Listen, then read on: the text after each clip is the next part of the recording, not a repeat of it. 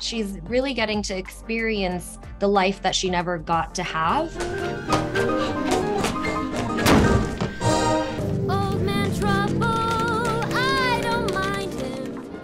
doing the dance and singing the song was uh, absolutely a dream come true for me. It, um, I never expected to do that kind of thing in my life, and let alone on this show. So uh, it was so much fun to shoot, and um, I'm so grateful to I got to have that experience.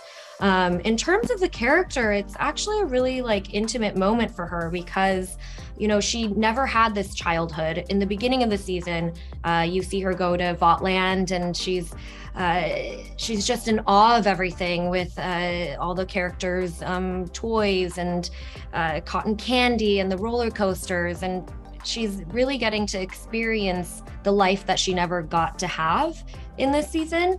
Um, and then it's all topped off by this uh, dream sequence, uh, which is in the musical number. I don't mind him.